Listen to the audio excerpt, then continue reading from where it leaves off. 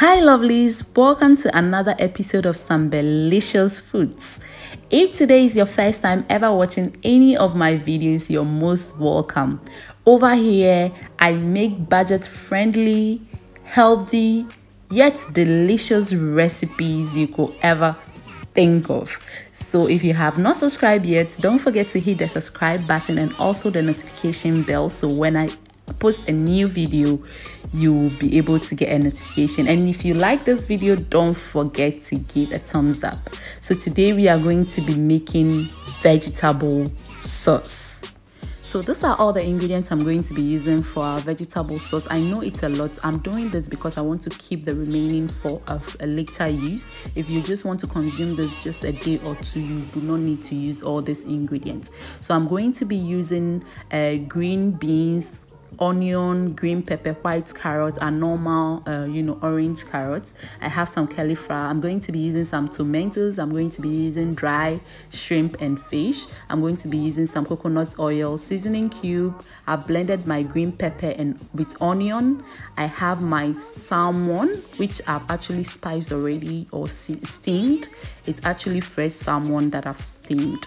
Also my um you know um sweet corn, which I haven't mentioned. So what I'm going to do at this point is chop all this vegetable into bite sizes. All right.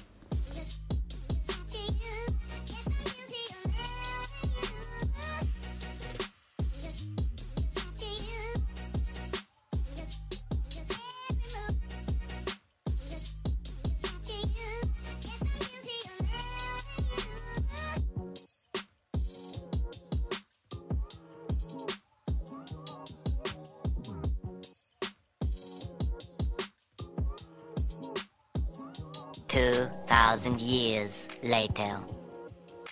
Oh my goodness, guys, that this is a lot of vegetables, and trust me, it took like a long time for me to finish this. But, anyways, this is out of the way. This is the hardest part. As I mentioned already, because I'm doing this in a large quantity, that is why I have a lot of this vegetable. I want to keep this for a later use. All right, so we are going to start our sauce okay? So i've actually heated my coconut oil. What i'm doing at this point is adding a little chopped onion to this. So now i'm adding my green blended pepper which i've of course added some uh, onion and then garlic too to my oil and then also leave it to cook for a while. And also i'm going to be adding my fresh chopped tomatoes to my green sauce. Alright, so it's at this point I am adding my carrots. We know carrot is a bit you know hard so for me to get that you know crunchy and that soft texture i have to add my carrot at this point not just that i'm also adding my cauliflower and my uh, green bean all right i'm going to stir this and leave it to cook for a while.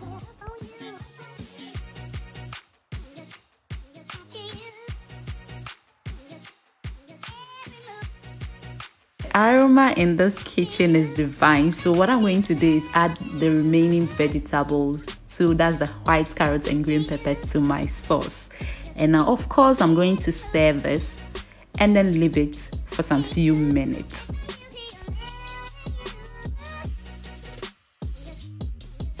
My sauce is getting to that point so i've just added my dry shrimp and fish to this. I'll stir this and leave it to cook for a while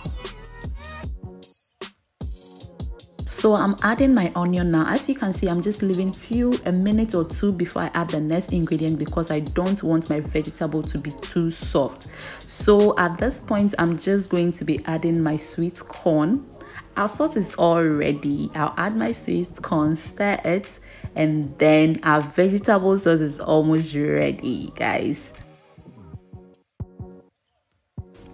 All right so at this point i'm going to be adding my you know steamed salmon which I of course uh, spiced with some garlic, onion, and then ginger. So I'm going to add this and then add my boiled egg. I decided to just add two, uh, four boiled egg to this. This is totally optional, guys. You do not have to add boiled egg but i decided to.